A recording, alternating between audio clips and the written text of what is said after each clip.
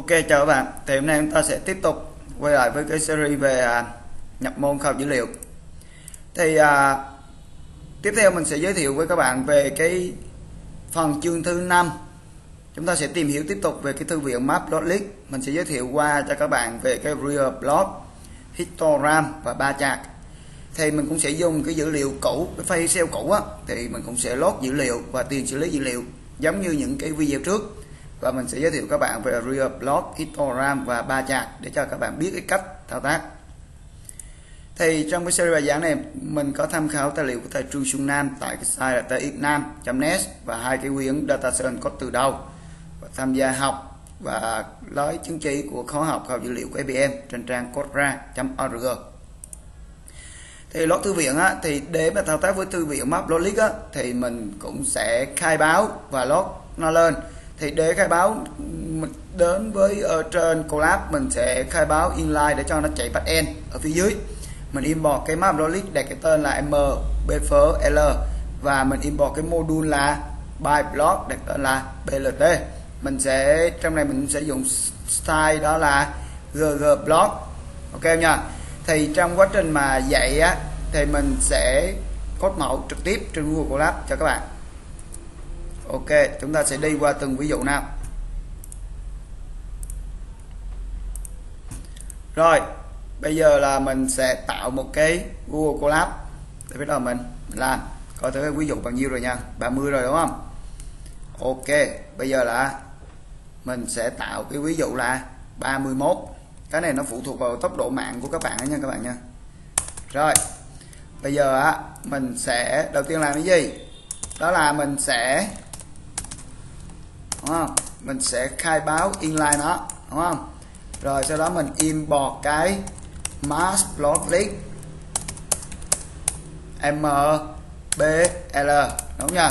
Và mình cũng import luôn cái module đó luôn.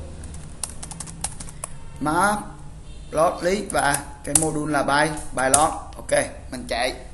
Thì sau khi log xong á, thì mình hoàn toàn có thể là gán nó luôn. Mbl và mình sẽ sử dụng cái style, đó là gg block. Ok chưa? Các bạn cũng hoàn toàn có thể in ra thử xem là cái version của map logic là gì. Thì chúng ta sẽ dùng mbl chấm là version. Mbl chấm. Ok chưa?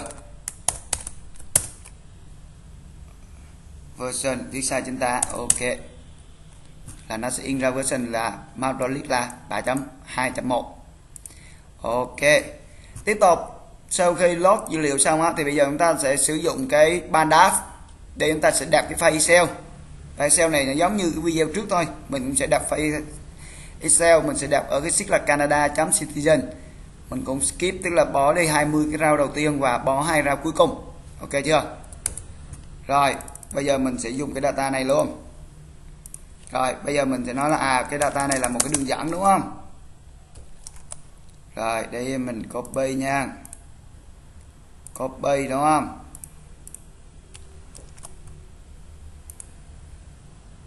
Rồi chờ tới mình sẽ lấy cái đường dẫn này để mình copy trên cho nó, nó, nó tiện. Vì cái đường dẫn đây chắc là do mình bị xét cái gì đó cho nên giờ nó không copy được. Ok copy đường dẫn cái này đi. Ok chưa? Chúng ta có được cái, cái đường dẫn rồi. Bây giờ á chúng ta sẽ chúng ta dùng là dùng pandas đúng không? Rồi bây giờ mình sẽ khai báo pandas vào. Bây giờ bây giờ mình đẹp nè. Mình đẹp nó là ở một cái file của nó là rich excel đúng không các bạn nha? Mình sẽ đẹp một cái file là excel bên trong là có đường dẫn này. Rồi có cái gọi là sheet name. Sheet name đó là Canada by citizenship đúng không coi thử đúng không ta? Đây, gọi là Canada by citizenship ok giờ bây giờ mình skip round. Đúng nha skip round, mình sẽ skip một cái đoạn là khoảng là 20 dòng và mình cũng là skip cái footer. Là hai dòng thì quá trình này là mình đạt được cái data frame. Thì lúc này các bạn hoàn toàn có thể in cái data frame. Ví dụ như mình in ra khoảng mấy dòng đầu tiên thôi ok chưa? Đây. Hoặc là các bạn có thể là viết như này luôn. Ok. Được chưa? Thì như này thì nó nó nó ra cái cái cái dạng table luôn. Dễ nhìn. Được chưa các bạn nha? Thì cái đây là cái data bữa trước của mình thôi. Bây giờ có data rồi. Bước tiếp theo mình làm gì? Giống như trang bữa trước thôi. Bây giờ mình có data rồi thì bây giờ mình sẽ tiền xử lý dữ liệu bằng cách là xóa một vài cột. Trong này mình xóa 6 cột axit là một tức là xóa theo trục y đó các bạn. Xóa theo cái cột và mình sẽ rename. Rename mấy cột. Một hai ba cột. Đúng chưa? Rồi bắt đầu mình xét tất cả các cái chuyển tất cả các cột về chuỗi. Rồi mình xét cái cột country là index. Và mình thêm một cái cột total tức là lúc này mình sẽ tính sum. Đúng nha, tính sum theo theo hàng. Axit này tức là mình sẽ tạo thành mình tạo một cái cột mới và mình tính sum theo hàng. Year này là mình sẽ tạo ra một cái list các cái một cái mảng các phần tử kiểu chuỗi từ năm 1980 cho đến 2010 13 chỗ này là mình để 2014 là vì nó nhỏ hơn số này. Ok chưa? Thì đây là tiền xử lý dữ liệu. Đây, bây giờ mình làm nhanh chỗ này nha. Rồi, đầu tiên á, là mình sẽ drop. Drop cái gì nè? Đây, drop các cái cột rear ok chưa? Drop nè. Một là ờ, rear nè. Ok này được chưa? Tiếp. Cột tiếp theo á là rest depth đúng không? Rest này depth này rồi gì nữa? Cột tiếp theo là type cột tiếp theo là cover ok chưa? Type cover ok.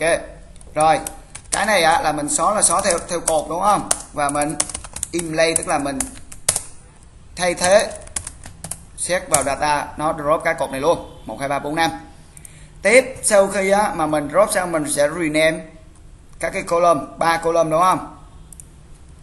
Df re, rename.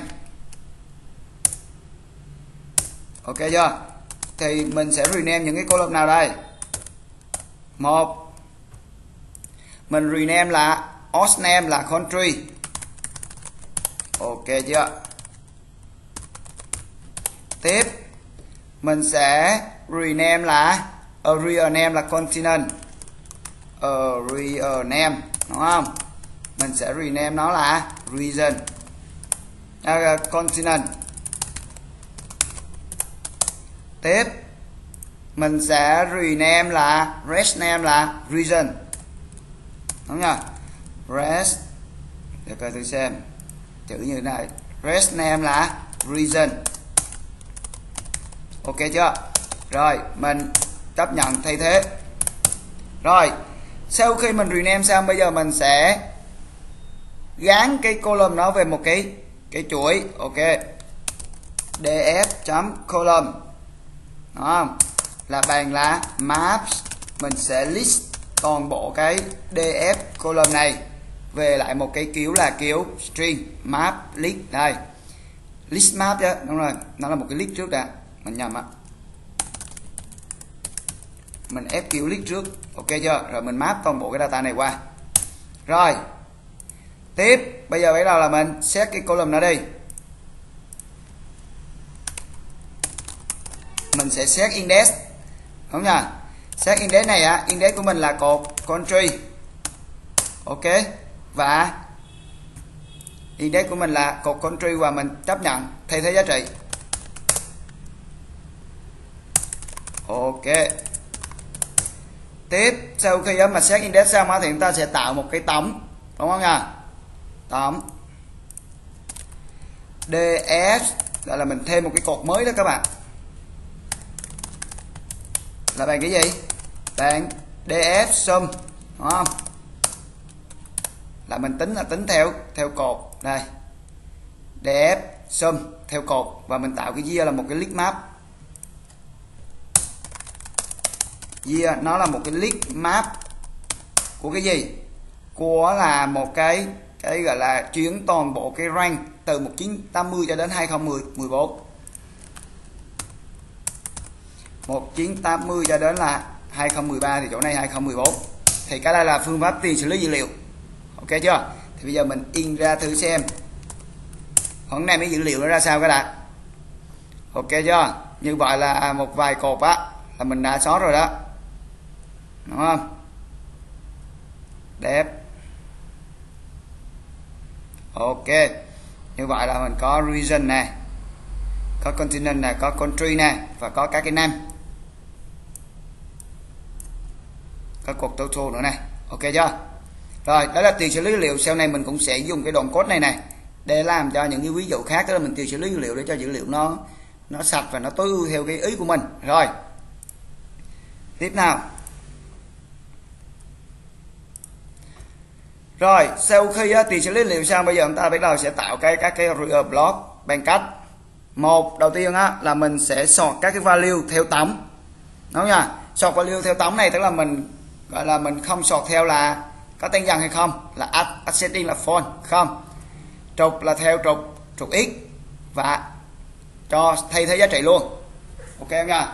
Sau đó mình dùng cái top name. Top name này mình chỉ lấy theo theo các cái name thôi và mình chiến nó về cái gọi là giống như là mình chiến vị ma trận đó.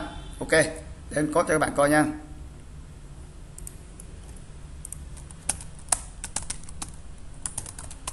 Rồi bây giờ mình sẽ sort các cái value nào đây? Một là mình sẽ sort theo theo tổng. Đúng không bây giờ cái ascending này á, là mình nói là không. Mình không cần tay dần đâu. Và mình sẽ sort theo trục trục x đúng không inlay true ok chưa? Đây số trục x inlay true đây. Sau đó mình sẽ lấy top nam ok. Tức là đây là mình giống như mình dùng coi như nem cái data. Và cái df top nem này á của mình á là mình lấy theo nem luôn. Mình sẽ lấy à, mình lấy theo các cái thành phần là transpose luôn tức là cái đây mình chỉ lấy theo các cái nem thôi. Rồi bây giờ mình in ra thử xem nha.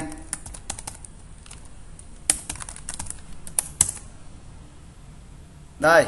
Thì lúc này á, là nó sẽ ra một cái bán dữ liệu là các cái country và theo theo nam ok chưa? Đây là mình lấy top nam á.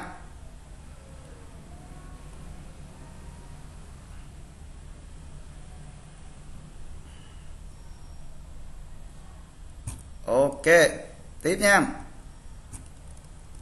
Rồi để mình in ra thử xem á là cái top nam này cái sáp nó là cái gì đã? Đó. Là 34 và và 5 ok chưa? Đây. Một hai ba bốn năm tiếp. Bây giờ á, là mình có data rồi mình có cái cái cái top năm rồi à, các bạn này chúng ta làm gì nữa? Chúng ta sẽ plot nó lên. Bằng cách một đầu tiên mình sẽ map tất cả các index về kiểu in. Ok chưa? Sau đó mình plot với cái chi là area cái alpha tức là thường là mặc định của nó là 0,5 tức là thể hiện cái cái độ đậm nhạt stack này là có cho phép chồng lên nhau hay không? Cái đây là fish size tức là cái kích thước của cái hình. Đúng không nhỉ? Và nó thường là nó là một cái super các bạn xét cái title xét cái label x, xét label y và chúng ta gọi cái cái phương thức sau lên. Ok chưa? Rồi, bây giờ chúng ta sẽ dùng cái df top nam. Bây giờ cái index của chúng ta là gì? Cái index của chúng ta là bây giờ là chúng ta sẽ map của nó qua kiểu in. Map của nó qua kiểu in. Đúng nha mình map toàn bộ mọi thứ qua kiểu in hết. Rồi bây giờ bắt đầu mình block lên này df top 5 đúng không? Bây giờ bắt đầu mình block. Block với cái gì? Cái cai là gì? Area đúng không đây khai tức là mình muốn vẽ cái hình là rồi bây giờ alpha tức là muốn đậm hay nhạt. Thì thường á, là các bạn, ví dụ như có thể là mặc định nó là không phải phải năm. Rồi, sau đó chúng ta coi thử là cái stack này á, là bây giờ xét chồng lên nhau hay không? Đúng không? Chúng ta nói là không có ờ, cho nó chồng lại nhau. Không cho chồng lại nhau. Và file size, cái fix size của mình là là 20 10 là cái fix size là một cái turbo 20 10 ok chưa? Ok, là cái này là mình block lên cái data đó. Bây giờ bây giờ mình đặt cái title và y label và x label ok chưa? Thì cái title là tùy vào cái việc các bạn report gì mà các bạn sẽ xét cái title tương ứng. Ví dụ mình nói là, this is title. Các bạn cũng hoàn toàn có thể là xét là cái y level tức là ví dụ cái này là mình nói là à đây là trục trục y nè. Ok, tương tự. Các bạn cũng xét nó là là trục trục x nè. Ok, và chúng ta sẽ sau lên thì lúc này nó sẽ sâu lên cái gì? Nó sẽ sâu lên một cái đô thị. À nó sâu lên một cái hình. À, thấy không? Nó có năm vùng này một là ấn độ hai trung quốc này ba là vương quốc anh này bốn philippines này năm là marketing ok chưa? Thì cái này có rõ ràng là mình không cho nó chồng lại nhau. Tới cái nào riêng cái đó ra. Vẽ độc lập. Còn nếu các bạn muốn chồng lại nhau thì các bạn xét cái gì? Xét kịch bản bằng true. Thì nó cái hình nó sẽ chồng lên nhau trong từng phần từng phần lên. À ok? Các bạn muốn đậm đậm hơn tí xíu á, thì ví dụ mình dùng là không bay lam, alpha đi, thì cái màu nó sẽ đậm hơn một tí. Ok? Thì nét nó đậm hơn. Ok chưa? Rồi, trục digital thì title ở chỗ này. Đây là trục x này. Đây là trục trục y. Đồng ý chưa?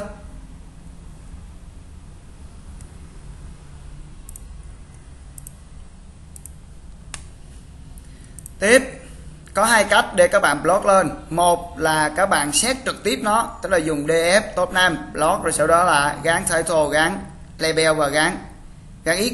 Đây là cái cách đầu tiên. Cách thứ hai á, các bạn cũng hoàn toàn có, cách thứ hai thì ưu tiên hơn, dùng nó tiện lợi hơn là các bạn sẽ tạo ra một cái đối tượng.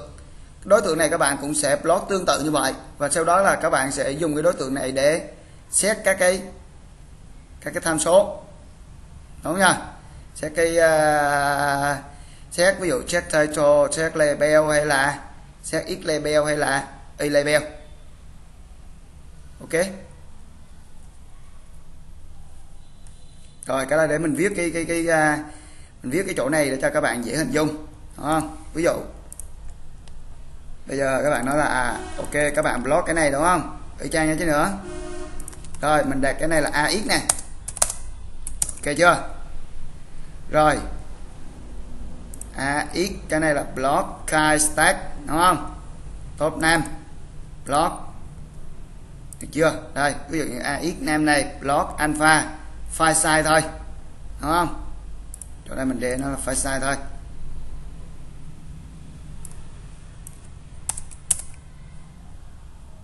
Rồi, mình không cần cái cái cái cái data kia. Rồi, ở cái chỗ này thì các bạn rất là dễ dàng để làm đó là set ví dụ lúc này á, là mình nói là à set title đúng không? Hoặc là, các bạn nói là à set ví dụ như là set theo cái gọi là y label đúng không? Và hoàn toàn có thể là set theo là x label ok? Đúng nha. Y đây, x đây, y title đây. Ok? Thường cái cách này người ta hay dùng hơn rồi.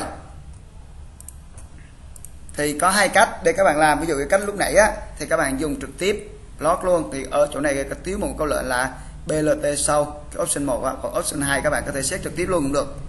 Được chưa? Thường người ta dùng option 2 nhiều hơn. Rồi. Về cái phần uh, real block thì mình giới thiệu đến đây là kết thúc. Được chưa?